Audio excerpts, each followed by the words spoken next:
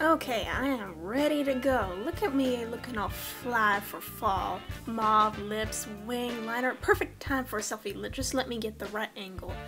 Uh, mm, not that angle. That one's not my... Oh, here we go. Good lighting, good angle. I love it. Alright, let's take a look at this. And what the heck happened? My brows completely disappeared. I'm not bald up there. I have really dark brows. What's going on here? I don't get it. I look in the mirror, I have brows. On the phone, no brows. Brows, no brows. Brows, no brows. What is this madness? I don't get it. What, what, I, I, duh. No big deal, this is pretty easy to fix. First things first, I'm gonna comb through my brows with a spoolie brush. Then after that, I'm gonna take my brow pencil and use the inner corner of my eye as a guide to draw the beginning of my brow.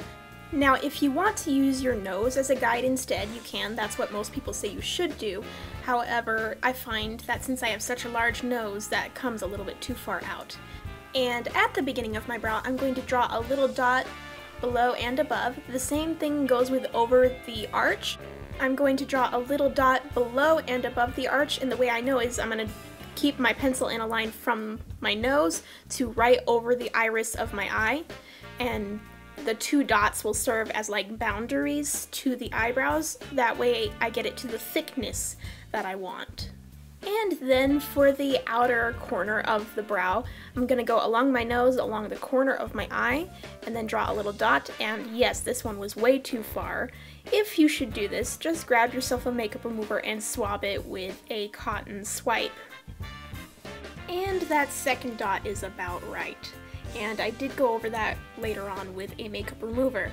Now I'm going to connect the dots using gentle feather-like strokes and focusing most of the pigment on the arch of the brow and on the tail since those areas seem to be the areas that disappear the most in pictures, especially in outdoor pictures or where you're exposed to bright light, sunlight, bright flashes, um, especially pictures taken by professional photographers, the arch and the tail disappear the most.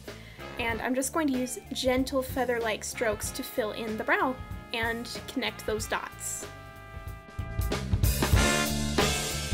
Now, if you're like me and your brows tend to be a little bit thicker than you would like after drawing them in, just go ahead and give them a pinch all along the brow, and that tends to bring all the pigment back where you want it inside the brow.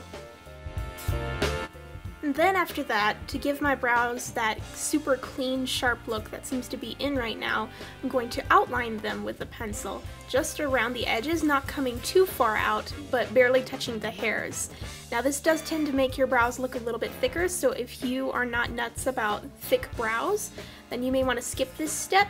However, I encourage you to give it a try and see if you like it, because you may surprise yourself. And then to make sure all the pigment from the brow pencil has blended pretty seamlessly into your brows, just brush through them with a little spoolie brush again. And this step is totally optional, but if you want to do it, you can.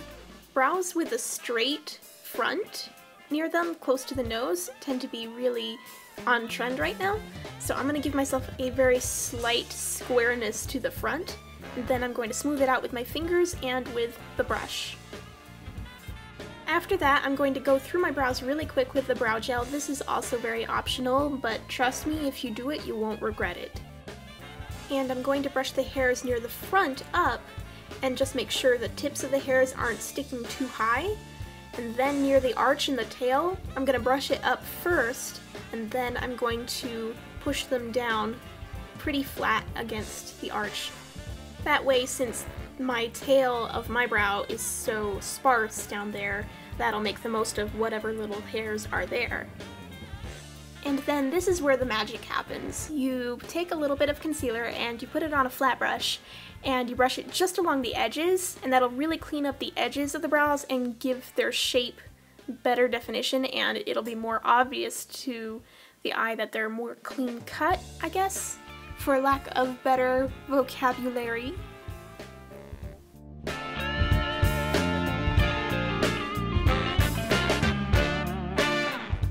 And then I'm going to just blend that concealer out with my ring finger. You can use a sponge if you want, but I find the ring finger is the perfect size and warmth for this. And let's see how these brows stand up to the selfie. And not too bad. They look pretty good. We have reached our goal. Yes. Thank you all so much for watching this video. Hope you guys enjoyed it. Make sure to like this video and subscribe to my channel.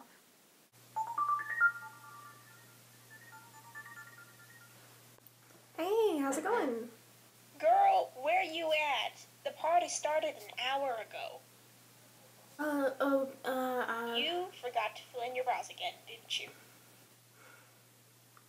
Yes. Mm-hmm. Alright, you get your butt down here quick. Okay, I'm coming. Bye-bye. Bye-bye. Well, gotta run. Thanks again, everybody. Bye-bye.